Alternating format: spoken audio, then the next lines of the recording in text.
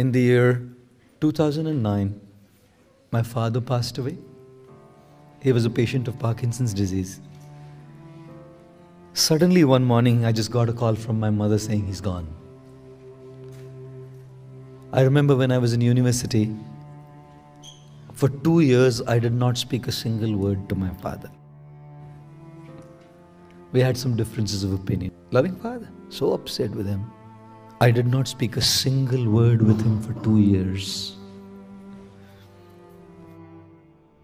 And just before I came to the Hare Krishna movement and joined the monastery, just a couple of months before that, my father came and fell at my feet, putting his head on my feet, crying and begging, Son, please speak to me. I remember ignoring that request. My mom said, Son is your dad, don't do that to him, please. And just because my mother said, I started talking to him. And in a couple of weeks, I left home to become a monk just after I started talking to him. Every single year, from the year 1996 until 2009, I went home to see my parents. And I wanted to say, Sorry, Dad, I shouldn't have done this to you. And whenever I went home,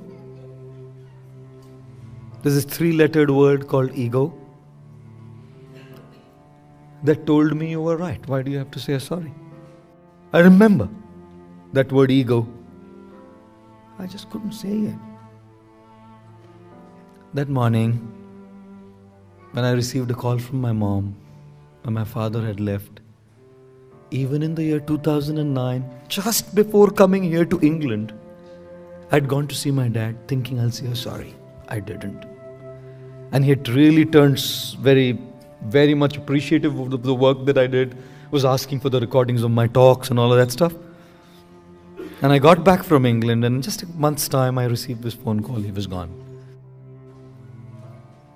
I went for the funeral. I remember putting my head at my dad's feet for the one final time, dropping a few unseen tears who nobody would ever know until I told the story to you. And with those tears saying, Dad, I'm sorry. I shouldn't have done this to you. I shouldn't have done this to you. You never know how long people are with us.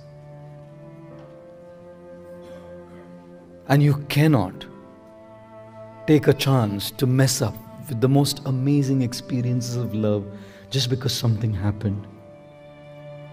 Ladies and gentlemen, forgiveness is the foundation of a meaningful, deep, true relationship. To let go if somebody has hurt us, and to say a sorry if we have hurt somebody, and letting things go is what makes relationships profound, meaningful, and deep. Which is why I say, when you say a sorry, it doesn't mean that you are wrong. It just means that you value the person and the relationship more than being right. You have to choose. What do you want? Being right or love? And if you want love, sometimes you have to say sorry, even if you are